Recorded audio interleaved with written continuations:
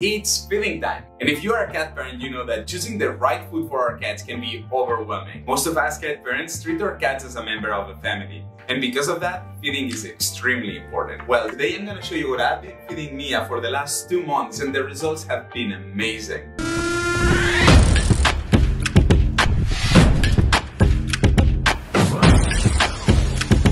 Let's work like 8 months ago, Mia started having stomach issues for no apparent reason. Her stool was smelling very bad, I'm not gonna enter into much detail, but something was clearly off. That made me start investigating about food allergies, food intolerance, and non-conventional methods to feed your cat. Today, I want to share with you what I've learned and what I'm feeding Mia after all my research. I'm going to divide today's video in four parts. The AAFCO statement, complete and balanced food, processed foods, either wet or kibble, the trend right now, raw food, and I would really recommend recommend you to watch until the very end of the video because at the end of the video I'm going to share with you what I've been feeding Mia and the results have been amazing. Let's rewind, let's start from the beginning. What does complete and balanced food even mean? Simply it means it meets the latest scientific standards. It is important because a too low or a too high level of micronutrients or even more important, macronutrients, protein and carbs can have a massive impact on the health of our pets. The standards include minimum level of protein, minimum and maximum level of total fat, minimums and sometimes maximums of other essentials amino acids, fatty acids, vitamins, minerals, and other nutrients such as choline and for cats, taurine. Note that there are no standards for carbohydrates because they are not even necessary for our cats. While American and European standards are very similar when it comes to minimum requirements, they differ in maximums and legal limits, with the European standards providing limits to more nutrients than the American standards. In the US, the standard is AAFCO, and in Europe, FEDIAF. Every food we feed our cats should be following nutrient standards. The way we have to know if it does, it's because the label will say something like formulated to meet the nutritional levels established by the organization of your country. I see I see a hand in the back. Yes?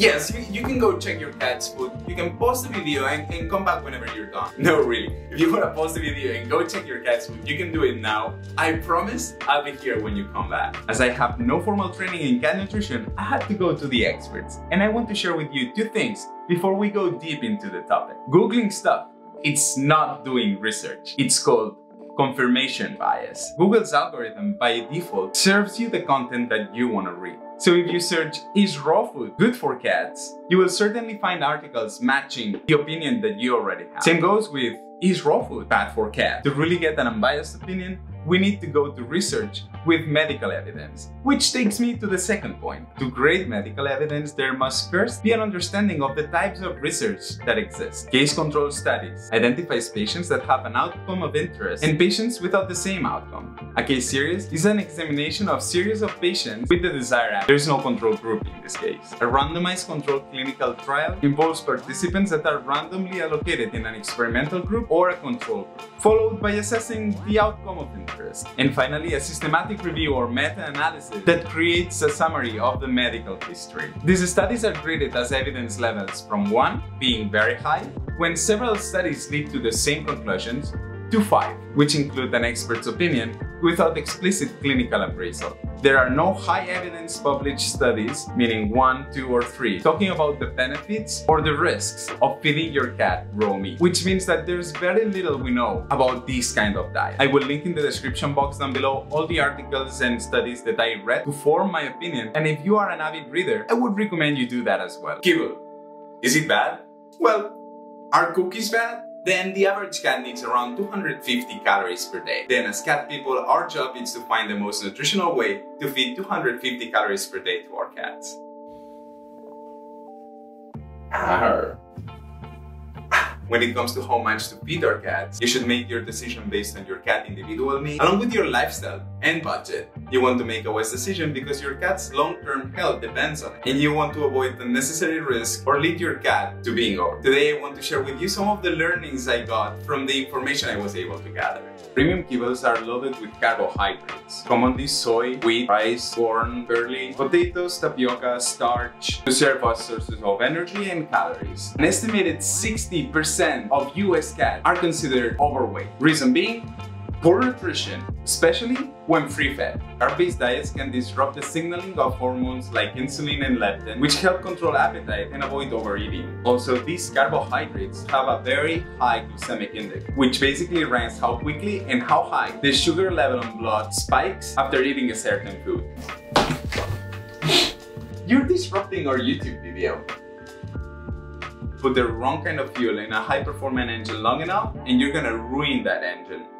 Oftentimes premium kibble are very low on animal protein level. And let's just remember that cats are obligate carnivores. Veterinarian Claudia Aker states that natural prey of cats contain at least 55% of protein, 45% of fat, and very little carbohydrate, around 1 or 2% on a dry matter base. Dry food ranges between 20 to 50% carbohydrate. If the cat only needs 1 to 2%, why does kibble make that nutrient almost half of their diet. According to Dr. Lisa Pierson, cats have no dietary needs for carbohydrates. And more worrisome is the fact that a high carbohydrate diet can become a health issue for our cats. Premium kibbles are processed with high heat and pressure that destroys many micronutrients that the ingredients once contained. And the same thing happens with wet food. They use mostly synthetic minerals and vitamins to replace the micronutrients that are lost in the preserving process. And because wet food and dry food lose most of their flavor during the cooking process, then they also contain flavor enhancers, sweeteners, and other chemicals and preservatives. Dry kibble is popular among many cat owners because it's convenient. It comes in large bags and because their moisture content is only 20%, it lasts longer, even after opening. Another benefit of dry kibble is that because the moisture level is so low, there's less risk of bacterial growth and you can just leave it out if you're at work or outside for a few hours. And finally,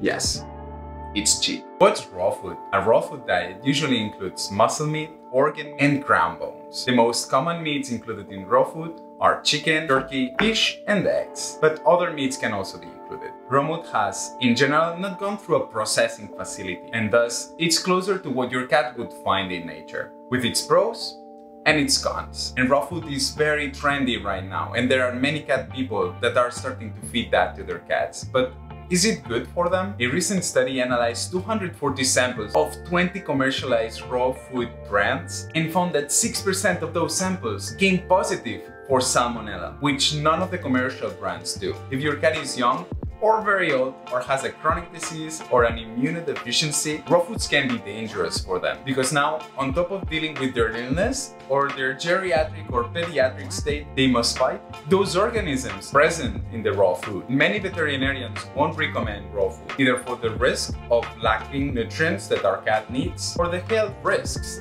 inherent on feeding a raw food diet. One thing is clear, if you go for raw food, I would recommend you go for a commercialized brand that's formulated by veterinarians and follows the standards of your country. Since our cats are obligate carnivores, their digestive systems are designed to especially thrive with meat-based diets. Cat's digestive tract is short and moves flesh and bones quickly, which protects them from bacteria that the raw meat might contain. Also, as their gut is very acidic with a pH of 1.5 to 2. It kills bacteria. Because their digestive tract is designed for raw food, their stool is going to be smaller and less smelly, which doesn't happen with kibble or wet food because they contain lots of carbohydrates that our cats are not good at processing and therefore all that goes to waste. Finally, Cats have their origins in areas with very little water, and their thirst drive is very low, as they've evolved to receive their water intake from the food they eat and it becomes a lot easier with raw diet or canned food. I am very happy that you made it to here.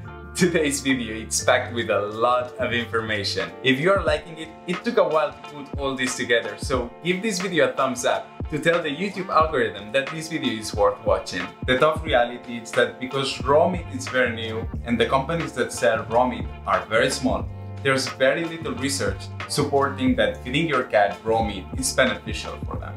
As I mentioned earlier, Mia was having digestive issues and I tried everything commercially available, including very expensive, prescription-only veterinarian food, and none of that seemed to work. So after all this test and learn, I decided to give a shot to raw food. I've been adding a little mm. raw in her wet food in every mm-hmm. single meal, around 25%, and Mia is doing great. Her stool is more consistent, it smells less, she is extremely active and looking very healthy. So I'm most likely going to no. keep doing that and even increasing the amount of raw I put in every meal.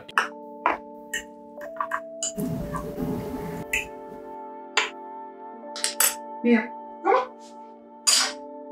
There's this brand, Darwin's, that ships raw food to your door. And it's cheaper than the wet food that I was feeding Mia. They have now a 50% discount for first-time buyers and they are following all the regulations from the AAFCO that I was mentioning earlier. I've added the promotional link in the description box down below so you can join us if you want to transition to raw food. Manipulating raw meat comes with risks, and according to the studies that I went through, transitioning your cat to a raw meat diet can become riskier for a household. So if you decide to join us on the raw journey, make sure you put systems in place to prevent cross-contamination. Like washing your hands and washing the utensils that you're using, like it's not nothing crazy. I'm going to keep updating you on how the process goes, but so far, I'm super happy with it. If you want to take the bond with your cat to the next level, make sure you watch this video next. And that's it for today. See you outdoors.